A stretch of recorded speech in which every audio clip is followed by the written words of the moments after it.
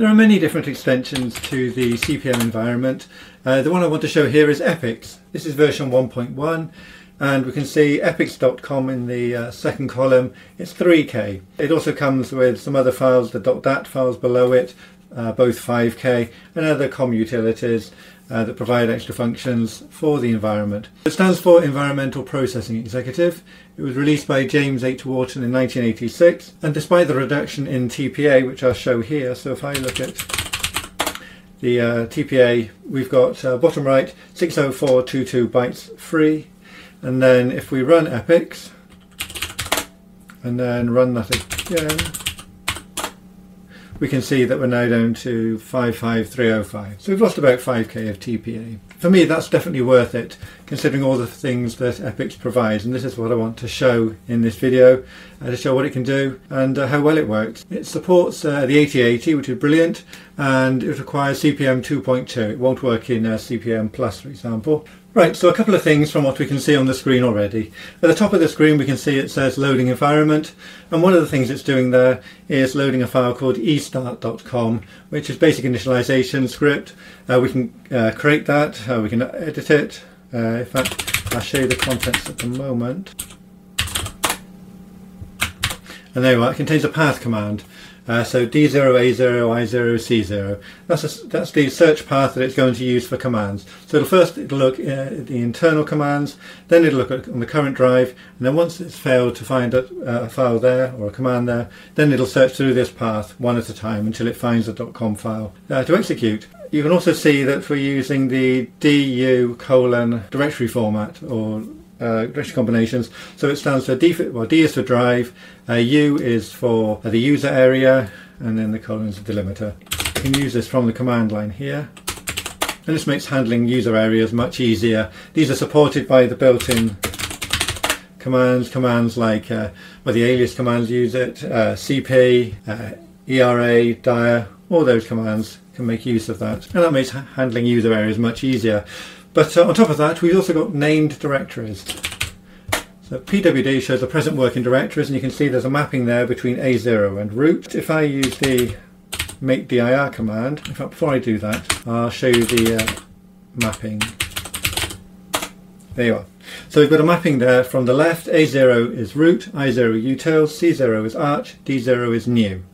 Okay, so if I load that in, and now if I have a look at those mappings again. So if I do dir utils, and there we are. If you look at the bottom, it's specifically saying i0 colon and then utils. I could do dir arch, and there you are, we've mapped to arch. Uh, we could do things like, what should we do?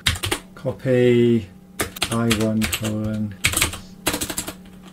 system.dir equals system.dir. And if we look at i1 now, we can see that uh, system.dir is there bottom left. And we can alter that directory mapping on the fly as well. We can alter it at any time. If I edit, if I copy, right, so I've created a sys2.dir using the uh, supplied cp command, the copy command. So I'll edit that. And then we'll change the mapping for uh, utils. So we put there, um, okay, we'll put, just do it simply. These have got to be entered in cap, uh, otherwise the mapping goes a bit awry.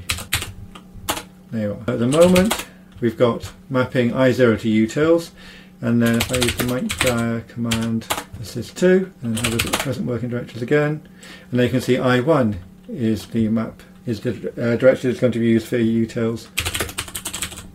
And there we are, and we can see our system.dir there at the bottom left. It's like odd thing with mkdir, it was just a bug, but uh, sometimes it doesn't register the last directory when you set the directories, but it seems to as soon as you run pwd afterwards. What I actually do, I create a little, uh, a little alias for uh, mkdir normally called me, uh, which I'm going to show because I want to show the aliases. So aliases allow us to take a command line or a script and, uh, and create a com file which will run that uh, at the command line or run it through the command processor. I use the alias command and I'm going to create something called me and all it's going to do is going to do make dir dollar one which is the first command line argument. Semicolon semicolon can be used on the command line to join multiple commands.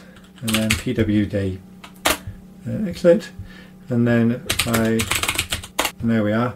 We can see that it's run makedir and then it's run pwd and it's run makedir with the system.dir, well system file. dir is the uh, default uh, extension for the directories.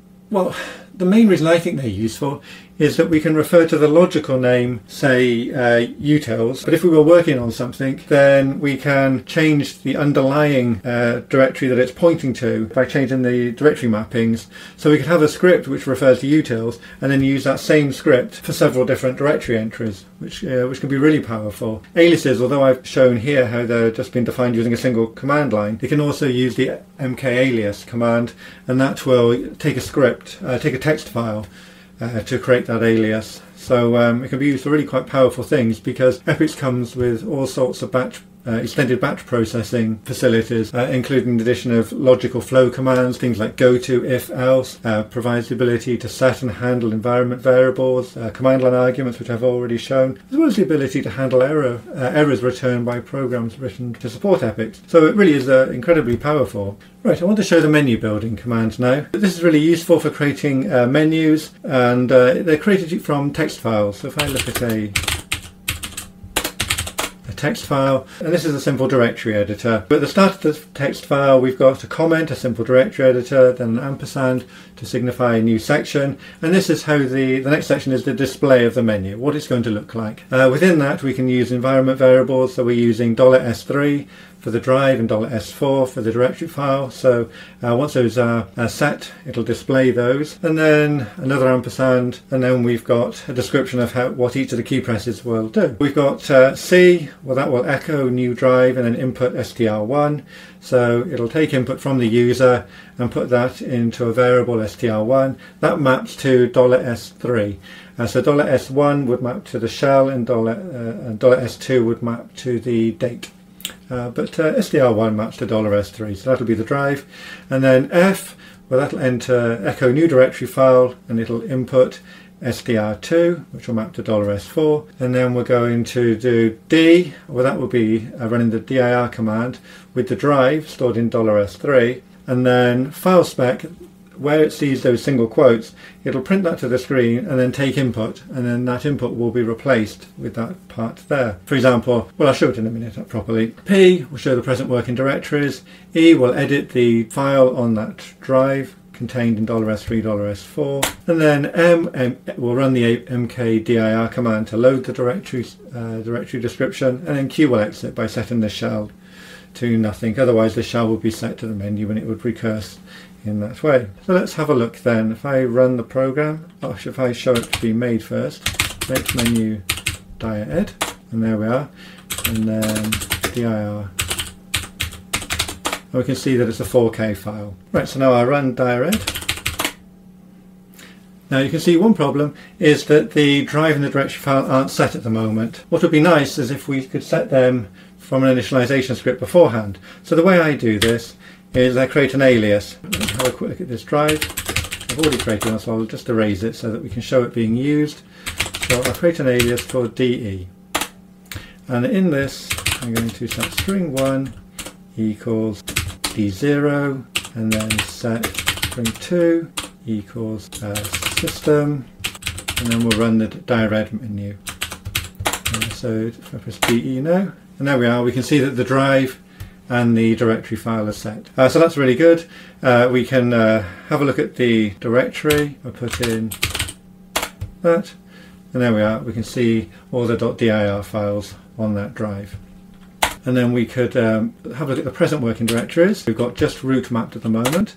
But if I press M, we can see now that it took in system.dir file and then mapped those directories uh, as appropriate. Yeah, so it's a little example of how we can make an easy menu from that menu description. Uh, the environment variables are persistent, uh, as I think I've mentioned already, so I can come out and go back in to dir-ed without actually having run DE. It'll continue with the uh, $S1 and $S, sorry, $S3 and $S4 environment variables that we uh, mentioned before. So that's the main uh, the main facilities there provided by EPEX. There are some other facilities such as the uh, secure operating mode, uh, which can be uh, really handy. It allows us to uh, restrict which EPEX commands can be run, and this makes it ideal for providing remote access to a system. And if we want to write software to support EPEX, then it actually provides system calls which can be used to query whether it's in secure mode. Those system calls, it provides uh, further system calls, not just for secure mode actually, but for other things, uh, name directories, returning error codes, environment variables, uh, a few different things. So uh, that can be really good if you want to program something specifically for EPEX. Uh, you've got a nice big menu, a nice big manual here, which uh, talks you through how it all works. So that can be pretty good for getting used to it all. And um, and overall, I think EPEX is a great way of enhancing a CP/M 2.2 system. Uh, lots of improvements, small uh, cost of a small reduction in TPA, but uh, often unless I'm editing big files or doing something particularly big, it doesn't seem to really make an awful lot of difference to me. Uh, it's great when I'm just manipulating files and uh, handling things. And, and if I do want to exit from EPEX, it's just a question of quitting out and then I'm back to a vanilla CP/M 2.2 system. It would um, it would create a warm boot. Oh, sorry, it would do a warm boot and then return me to a CP/M 2.2 uh, vanilla system. And then once I'm finished doing whatever it is that needed that much more memory, or perhaps something wasn't compatible with EPEX, not that I really find things that aren't, but if there wasn't, then you can start it to go back in. You can even do this from a script, so it's actually really easy to, to come in and out of EPEX depending on your needs. So uh, all in all, um, pretty usable system. It's got a few little bugs. Uh, I've mentioned a couple already. Uh, the DIR as well doesn't report the correct size uh, used or free space on big drives, so a bit of an annoyance. Uh, a couple of things I would have really liked from it. Uh, I would have really liked if it had improved the command line editing, uh, such as uh, such as we see in CP/M Plus. That would have been brilliant, and it would have been nice to have a command line history as well. So those are probably two things that I would have really liked. Uh, one thing I would like to ask anyone though, this is version 1.1. There's a note included in the LBR file. Let's see if I can. I'll see if I can find it. Nine. Here we are. There's a note in this file that refers to Jim uh, fixing some problems with it and uh, providing a new release. I don't know whether that was ever done or not, but if anybody does know of a later version, I'd love to hear from you. So do get in touch, let me know about it. Uh, either leave a message in the comments or uh, contact me via Twitter or drop me an email, whatever. Uh, there's also uh, lots more information about this on the associated article on the Tech Tinkering website. So have a look at that and some of our other videos and some of our other articles. And do please subscribe.